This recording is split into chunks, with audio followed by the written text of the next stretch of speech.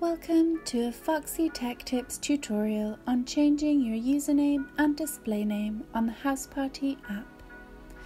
If you find this tutorial helpful, please consider subscribing to my channel and liking the video. Launch the Houseparty app. Tap the smiley face icon at the top left of the screen. Now select the settings icon here.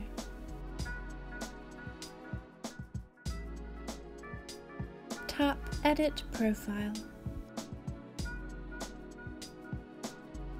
Here you can edit your display name and your username.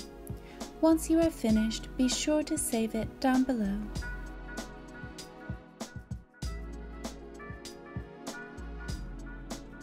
And that draws an end to this tutorial. Please like the video if you found it helpful and subscribe to Foxy Tech Tips for more Houseparty tips and tricks.